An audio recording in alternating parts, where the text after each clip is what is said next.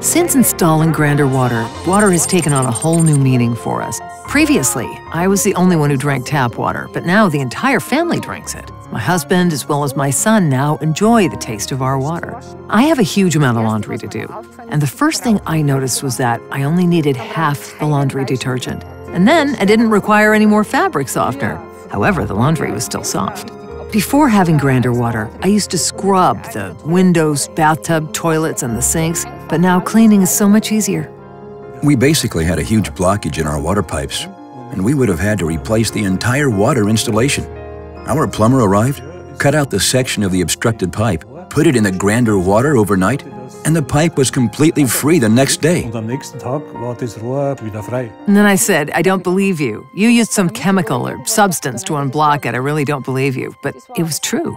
And after that, he installed the Grander device and told us to remove all the filters from the pipes and turn them on.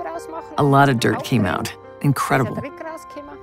Before the installation of Grander, I used a considerable amount of fertilizer so everything would grow well the herbs, flowers, everything. And now I don't use any at all. Well, only a very small amount for certain plants that simply can't do without.